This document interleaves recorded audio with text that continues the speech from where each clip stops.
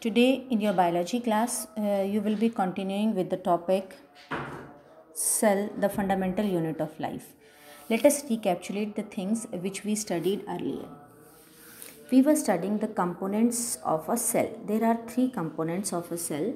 That is, first is nuclear membrane that is also called as plasma membrane then second is nucleus which is present in the center of a cell and third is cytoplasm cytoplasm is the liquid which is present in the cell देखिए बेटा सबसे पहले हम बिल्कुल basic से शुरू करते हैं आपने अपनी एट्थ क्लास में पढ़ा सभी लिविंग ऑर्गेनिजम्स की बॉडी बनी हुई है सेल्स की अब देखिए सेल्स क्या हैं देखो, जिस किसी भी बिल्डिंग को अगर हमने बनाना हो तो हम क्या लेते हैं? ब्रिक्स ईंटें लेते हैं और फिर ईंटों को जो है हम अरेंज करते हैं और फिर एक वॉल बनती है और फिर बिल्डिंग बनती है।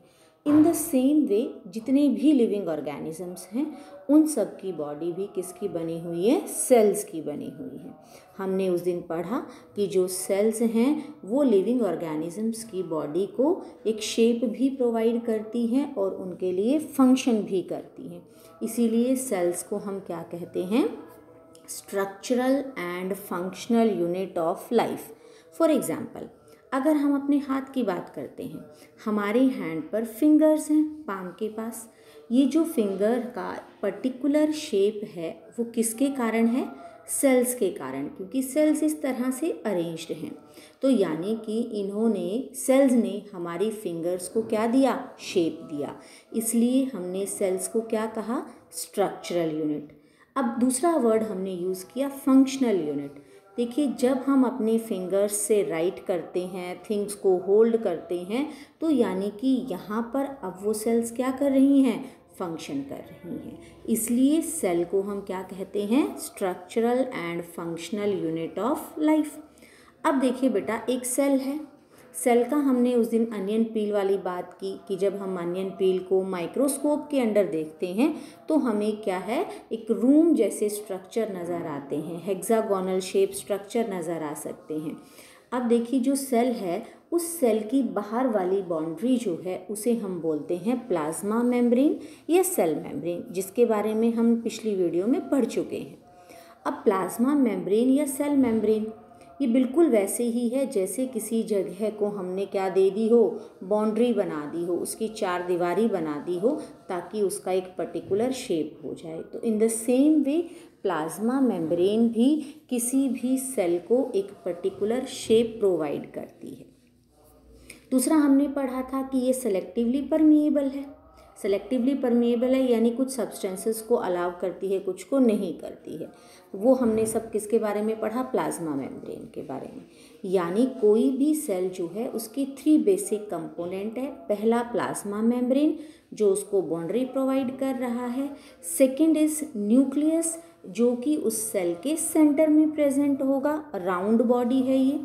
अब न्यूक्लियस की हम बात करें तो न्यूक्लियस के बाहर भी डबल मेम्ब्रेन है। और ये भी सब कुछ सब्सटेंसेस को अंदर और बाहर जाने के लिए अलाउ करता है और हेरिडिटरी मटेरियल स्टोर करके रखता है। ये सब स्ट्रक्चर के बारे में हमने न्यूक्लियस का स्ट्रक्चर भी लास्ट क्लास में पढ़ा। Now we will continue about the function of nucleus देखिए बेटा न्यूक्लियस सेल में प्रेजेंट है। इसके डबल मेम्ब्रेन है और मेम्ब्रेन जो है, ये सब्सटेंसेस को अंदर बाहर जाने के लिए अलाव कर रही है। यानी कि जो सब्सटेंसेस का मूवमेंट होगा इनसाइड और आउटसाइड किस लिए है?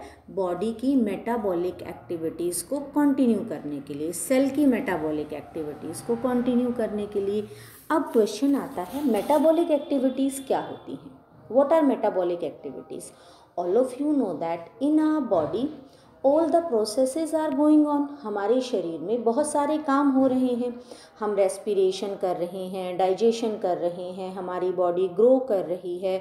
हमारी बॉडी में चोट लग गई तो हमारी बॉडी रिपेयर कर रही है। इस तरह के मेनी फ़ंक्शंस हमारी बॉडी में हो रहे हैं। ये सारी एक्टिविटीज़ को हम मेटाबॉलिक एक्टिविटीज़ कहते हैं। तो इसमें मेटाबॉलिक एक्टिविटीज़ में बॉडी में कुछ चीज़ें ब्रेक डाउन होती हैं और कुछ चीज़ें सिंथेसिस होती हैं। और वो तो बॉडी की बात हो गई। इन द सेम वे एक सेल के अंदर भी न्यू सब्सटेंसेस फॉर्म होंगे, पुराने सब्सटेंसेस ब्रेक डाउन होंगे and this breaking down and synthesis of the substances these are called as metabolic activities तो सेल की मेटाबॉलिक एक्टिविटीज़ को कौन कंट्रोल करके रखता है? न्यूक्लियस ठीक है? अब एक आप लोगों ने एट्थ क्लास में भी पढ़ा होगा कि कहीं पर भी कोई मैजिक नहीं होता।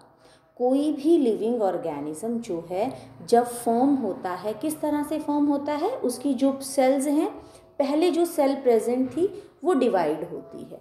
One cell get divided into two cells then two will get divided into four cells तो ये जो सेल डिवीज़न है, इसे हम क्या बोलते हैं? सेल साइकिल यानी सेल ने कब डिवाइड होना है, इस सबको भी कौन कंट्रोल करके रखता है? Nucleus then nucleus is the store house of genes मैंने उस क्लास में बताया था कि न्यूक्लियस के अंदर क्रोमोसोम्स प्रेजेंट होते हैं और क्रोमोसोम्स के पास हेरिडिटरी इन्फॉर्मेशन ट्रांसफ़र करती है। कैसे?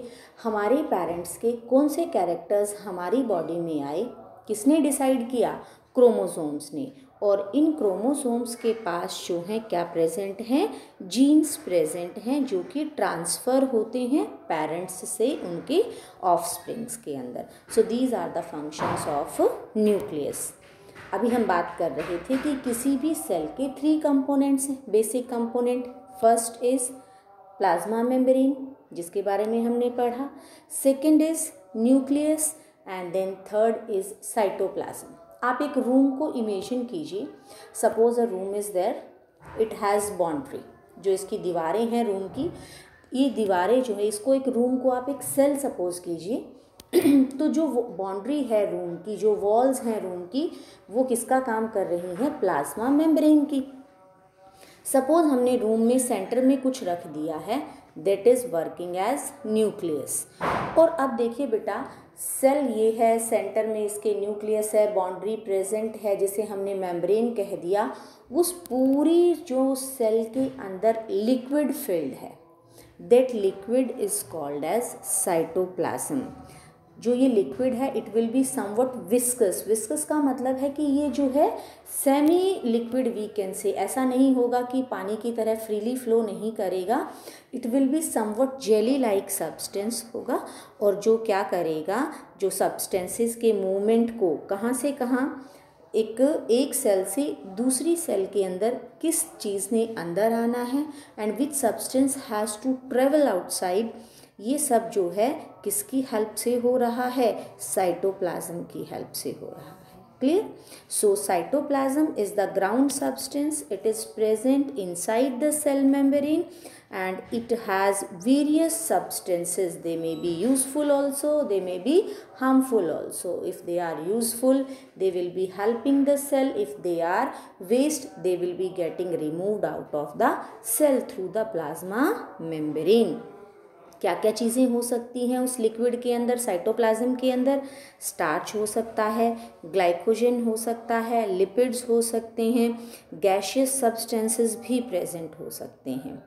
अब उसके बाद if we talk about functions cytoplasm के फ़ंक्शंस की अगर हम बात करें, यहाँ पर एक वर्ड गिवन है protoplasm now what is the difference between cytoplasm and protoplasm see nucleus के अंदर जो लिक्विड फ़ील्ड है that is called as nucleoplasm और जो सेल के अंदर जो लिक्विड है other than nucleus that is called as cytoplasm nucleus के अंदर न्यूक्लियोप्लाज्म न्यूक्लियस के बाहर, लेकिन सेल के अंदर वाला लिक्विड क्या है? साइटोप्लाज्म और इन दोनों को मिला करके nucleoplasm plus cytoplasm is called as protoplasm so protoplasm is important or it is playing role what it what the role is played by the protoplasm? It stores many of the substances like amino acids proteins sugars vitamins. Now what are these? Vitamins all of you know.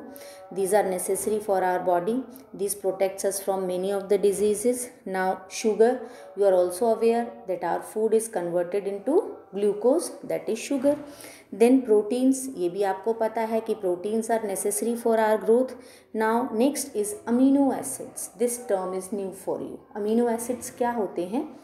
देखिए बेटा, जितने भी proteins हैं, उनकी जो smaller unit है, उन्हें हम कहते हैं अमीनो एसिड्स फॉर एग्ज़ाम्पल